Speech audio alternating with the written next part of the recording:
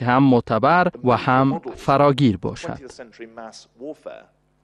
وزیر خارجه بریتانیا می‌گوید اهداف ماموریت بریتانیا روشن است اما وی از آن کرد که مردم بریتانیا اکنون می‌خواهند بدانند که چگونه در این جنگ می‌تواند پیروز شد و وی همچنان از دیگر اعضای ناتو خواست تا در تلاش های نظامی کمک کنند